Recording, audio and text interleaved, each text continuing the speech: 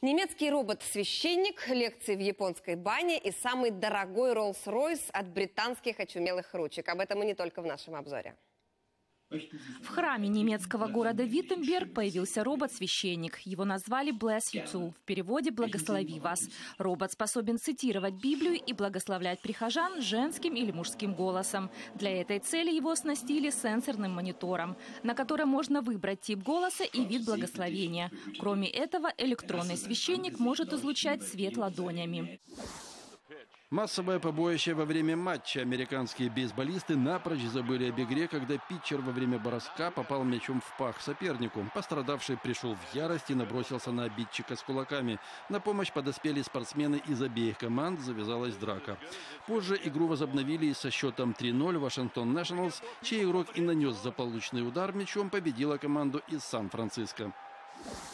В Японии решили совместить приятное с полезным. В Токио начали читать лекции в общественной бане, просто во время водных процедур. Решились на подобный шаг в надежде привлечь новых, молодых клиентов. Услуга платная, стоит подобные лекции 4 доллара. Фиксированных тем нет, все зависит от лектора. И может стать кто угодно. Инициаторы акции полагают, без одежды люди равны, поэтому способны быстрее преодолевать барьеры в общении.